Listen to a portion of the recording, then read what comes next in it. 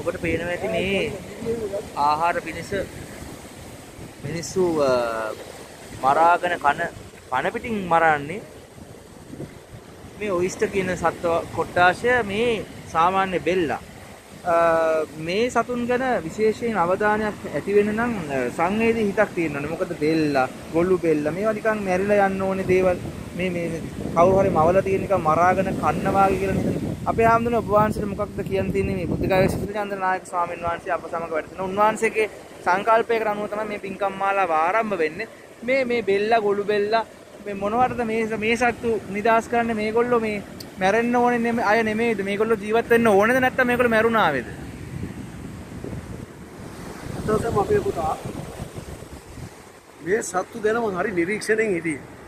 මොකද මගේ ඥාති කොට්ටාසයක් මම දැකලා තියෙනවා. ඒගොල්ලෝ පොඩ්ඩක් සප්පායෙන් වෙනකොට මේ වැල්ල හාරලා චූටි චූටි මේ වගේ බෙල්ල අරගෙන ඒ වෙලේම තම්බල ලුණු මිරිස් ගම් මිරිස් අර මේ දාලා ඉවරලා බයිට් එකට ගන්න. මොකද තත්තකින් නම් ඔබ තරුණ කාලේ නම් බලා හිටිය දෙයක්. ඒක මම දන්නවා.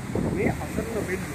මේ බෙල්ලෝ මාසයකට සැරයක් වගේ විතර කෝටි ගානක් දානවා මේ ශරීරයේ පොඩි වුණාට එක බිල්ලෙක බෙල්ලෙකුට බඩේ ඉන්නවා බඩදරු අම්මලා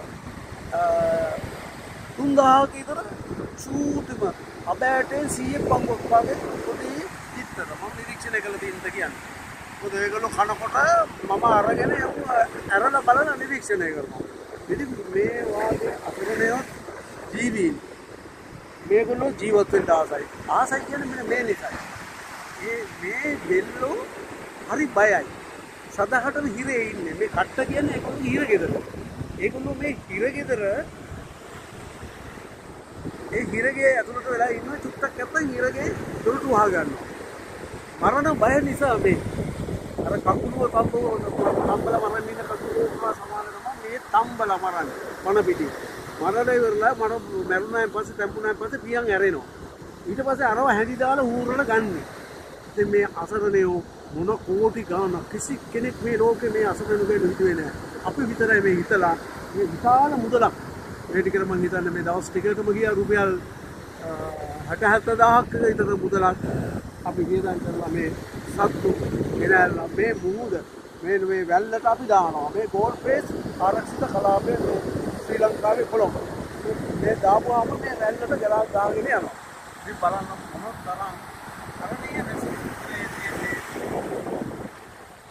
සබ්බේ සත්තා භවන්ත සුඛිතත්තා ඒකේ තියෙනවා විග්‍රහය.